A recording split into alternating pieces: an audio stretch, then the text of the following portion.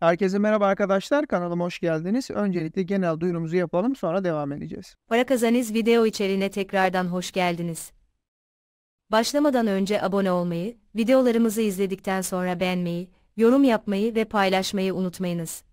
Bugünkü konumuz sevgili dostlar bir airdrop olacak. Bu airdrop bir meme token ile alakalı. İlk önce kanalımızın tanıtım videosu gelsin sonra konumuza hızlı bir şekilde geçiş sağlayacağız.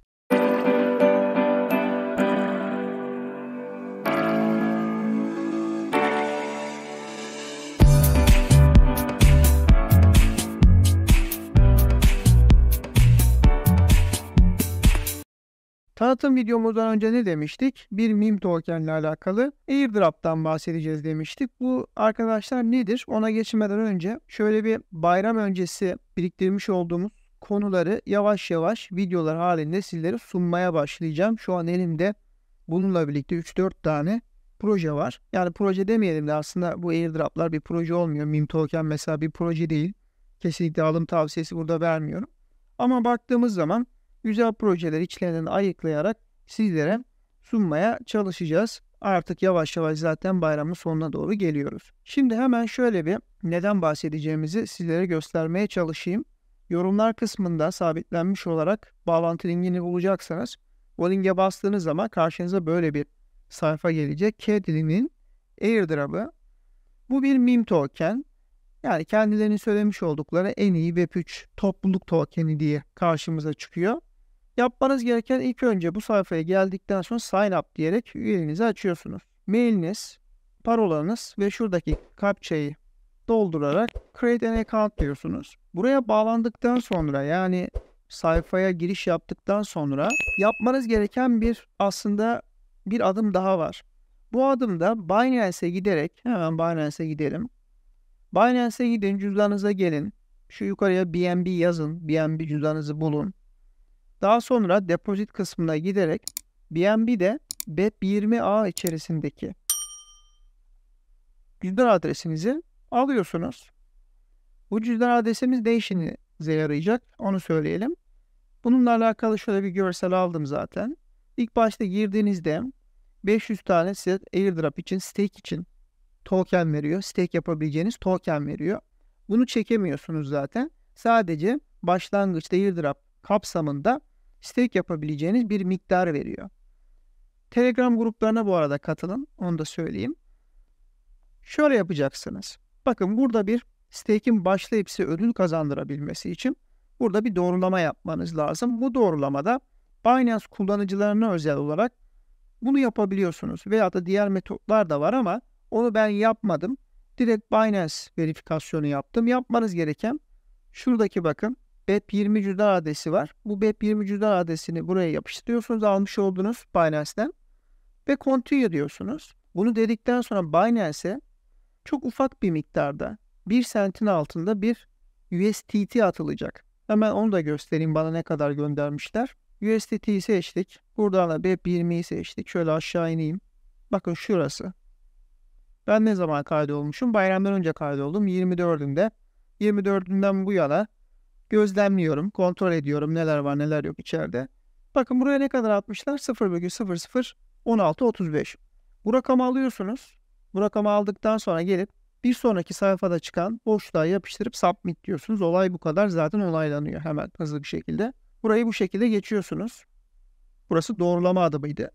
Doğrulama adımından sonra öncelikle şunu söyleyeyim. Burada benim yorumlar kısmında atmış olduğum link mobil linki olacak. Yani Caitlyn'in bir web sürümü var bir de mobil sürümü var. Mobil sürümü daha güzel, daha hoş. Yani bilgisayarda bu işlemi yapacaklar için de mobil sürümünü kullanmaları daha doğru olacaktır. Daha kullanışlı. Ondan dolayı yani daha kullanışlı olduğundan dolayı size mobili öneriyorum. Günlük olarak burada %3 kazanıyorsunuz. 500'ün %3'ü de 15 yapar. Yani her gün 15 tane burada toplam reward olarak gözükecek. Ben de mesela Niye gözüküyor bakın günlük 15 şu ana kadar kazandığımda 105. Referans ödülleri var. 10 kademede kazanabiliyorsunuz. %3,5'dan başlayıp en son kademede %0,1'e kadar değişiyor. Referanslarınızı buradan görebiliyorsunuz farklı kademelerdeki. Onun dışında satın alırlarsa eğer token size komisyon geliyor.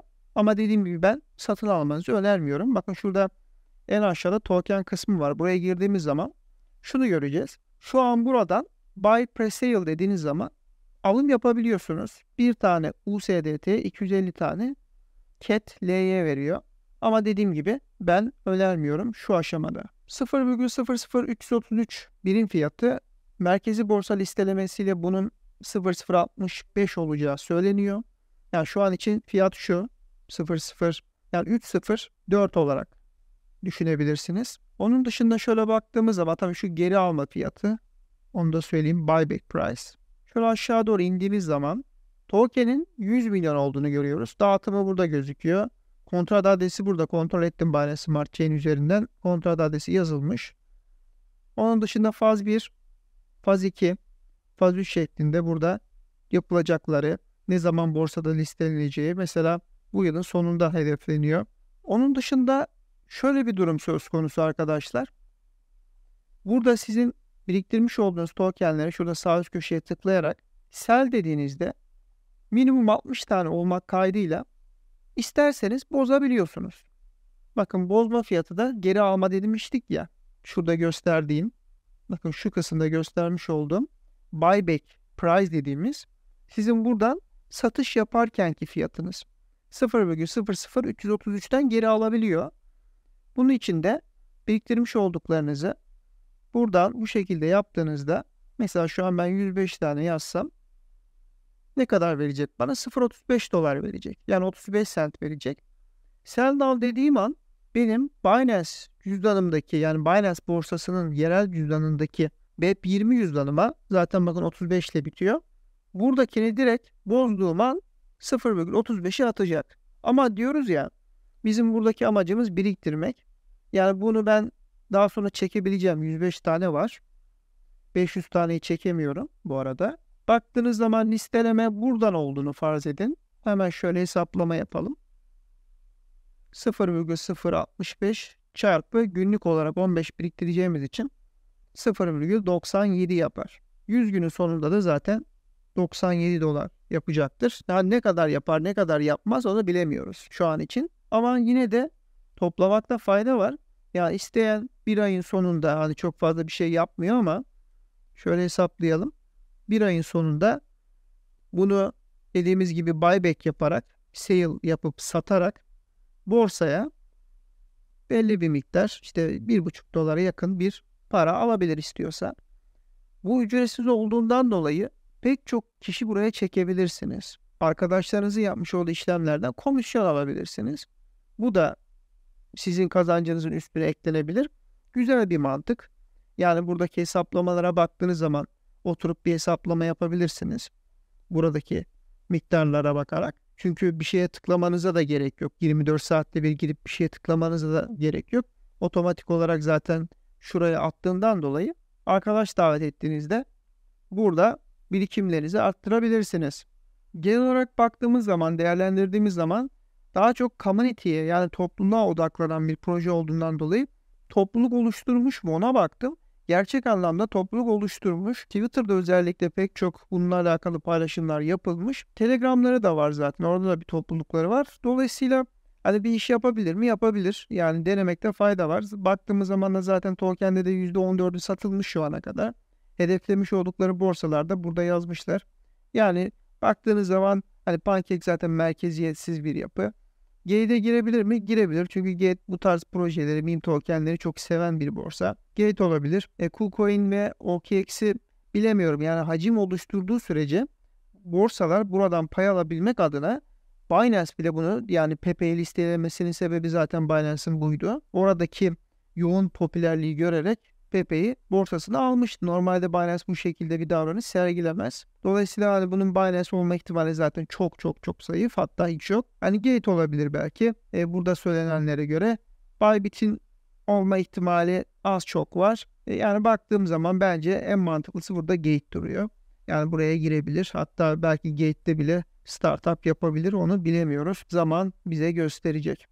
Genel olarak arkadaşlar benim anlatacaklarım şimdilik bu kadar. Yorum görüş soru olursa yorumlar kısmına bırakabilirsiniz. Video içeriğimiz burada sonlanmıştır. Yorumlarınız, düşünceleriniz veya önerileriniz bizler için önemlidir. Bu yüzden mutlaka yorum yapmayı ve beğeni atmayı unutmayınız. Bir sonraki videomuzda görüşmek üzere kendinize iyi bakın, hoşçakalın.